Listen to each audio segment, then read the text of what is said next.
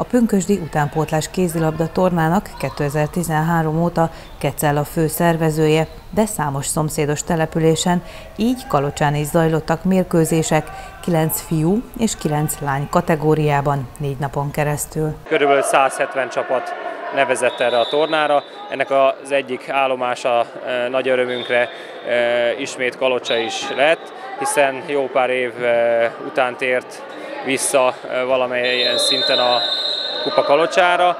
Itt a hétvégén négy helyszínen is fognak zajlani küzdelmek. A négy helyszín közül itt a városi sportcsarnokban az idősebb korosztályok csapatai mérkőztek meg egymással, a kisebbek pedig a Kertvárosi iskolában, a műszaki sportcsarnokában és a belvárosi iskolában léptek pályára. Mint említettem, 170 csapat nevezett erre a tornára.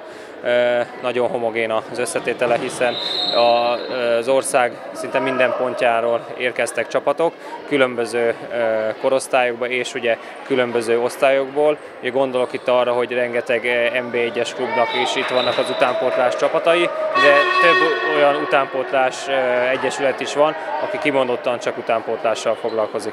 A Gézengúz UKC a négy napos tornán a mérkőzések lebonyolítása mellett plusz feladatokat is teljesített, úgy, hogy közben 11 csapatát nevezte a kupára. Elég nagy ter hárult ránk, hogy olyan állapotba hozzuk az egyes csarnokokat, pályákat vonalazzunk föl, internet lehetőséget szervezzünk, laptop lehetőséget szervezzünk, a jegyzőkönyvezetőket biztosítsuk, és ugye egy ilyen torna, mivel hogy négy napos, szállásétkezés a, talán a legnagyobb logisztikai feladat, itt is ugye, itt a kalocsai szállásokon azért kivettük a részünket abba, hogy minden rendben legyen. A sok munka végül meghozta gyümölcsét, ugyanis a tornát a Gézengúz U14-es csapata a dobogó második ezüstérmes helyén zárta.